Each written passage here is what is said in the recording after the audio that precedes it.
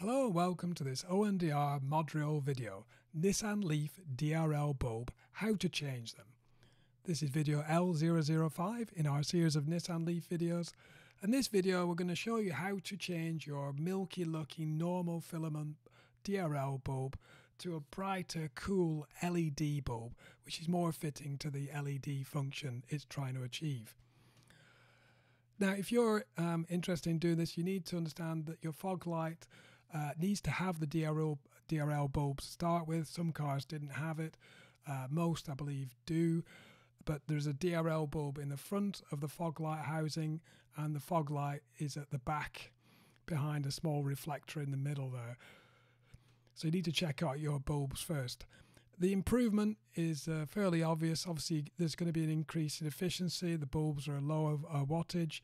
The bulb life should be longer with an LED and also the color. This is the main function. The color is going to get a lot brighter and uh, a definite cool white color. The bulbs I used were uh, an Osram LED PG 18.5D-1. These are actually a 1.6 watt bulb as to the normal normal filament bulb being 13 watts. And the both bulbs are basically the uh, the size of P 13W size, fairly standard. The tools I used, um, not really uh, anything special. I just used a trim tool to lever the, the wheel arch around, which I'll show you in a moment. No specialist tools basically needed for this at all. I split the video as per no, our normal sort of format into three sections. What does the manual actually say about these LED, uh, or sorry, DRL lights? Um, the way we actually did it and um, finally some fitting problems we found and a top tip to help you avoid it. If you're interested in this video, please check out our channel, O&DR Modurol. There's lots of uh, Nissan Leaf content on there, as as as well the uh, Jaguar XK8, and uh, we're going to have some Mazda CX-5 stuff on there soon as well. So please check that out. And if you like the video, please don't forget to press the thumbs up. It really does make a difference. So what does the Nissan Leaf manual actually say about these DRL bulbs? Well, not a lot as it, as it turns out. Um, it does show you how to change most of the bulbs, and uh, the, but in the case of the daytime running light, it only tells you the bulb wattage and the size. It doesn't actually show you how to actually replace them, which is a little bit strange because it's probably the bulb that's going to get the most wear. It's on all the time in the daylight, and it's very surprising it doesn't show you how to change them. Part of the reason is it's quite difficult to get at, but I'll show you the easy way to do it. So here's the way we actually did it. Um, the access we chose is through the wheel arch. You can get to the back of the bulb, uh, so the lamp housing there. You can also get uh, access by removing the lower cover, but that can be quite problematic. We have actually changed the gearbox transfer oil. You'll see that video on our channel. And when you remove the um, the lower engine cover, it generally doesn't get removed very often because there's no very little servicing on these cars, and lots of the clips, nuts, and what have you do break. So I wouldn't advise taking that lower cover off unless you're gonna uh, bear in mind you're gonna make have to make some repairs. What we did, we used the um, plastic trim tool just to get behind the wheel arch liner and pull it away from the uh, the bumper and the wing.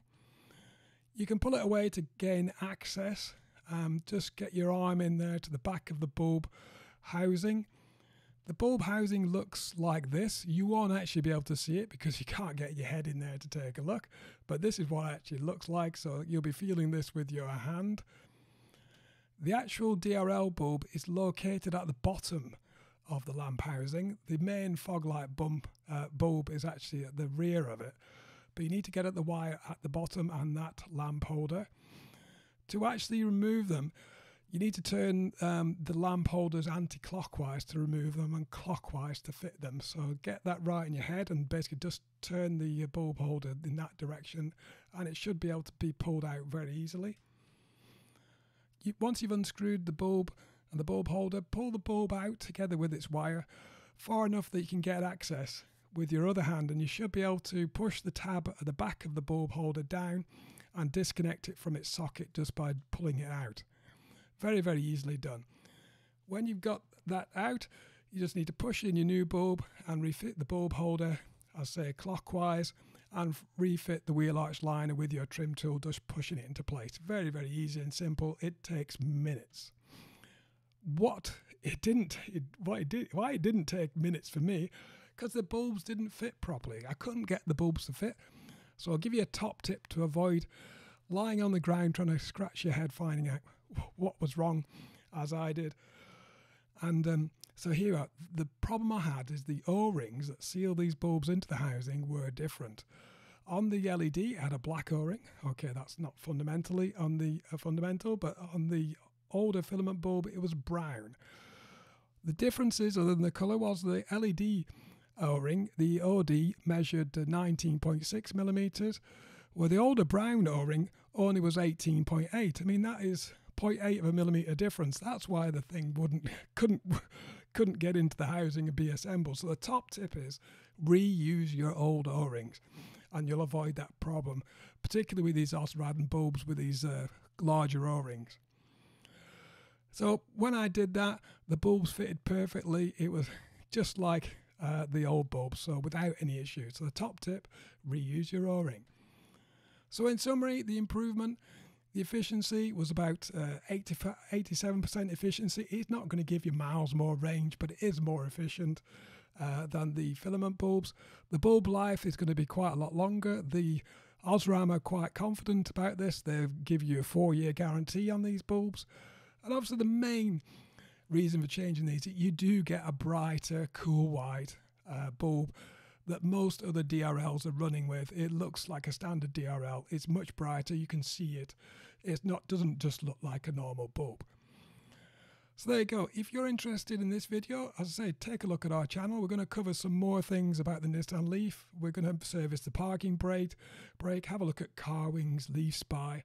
We've fitted a spare wheel, we'll show you that. Some air, small, minor aeromads, and some more LED light bulb conversions as well. So please take a look at the channel and subscribe to keep um, abreast of those new videos. Thank you very much for watching.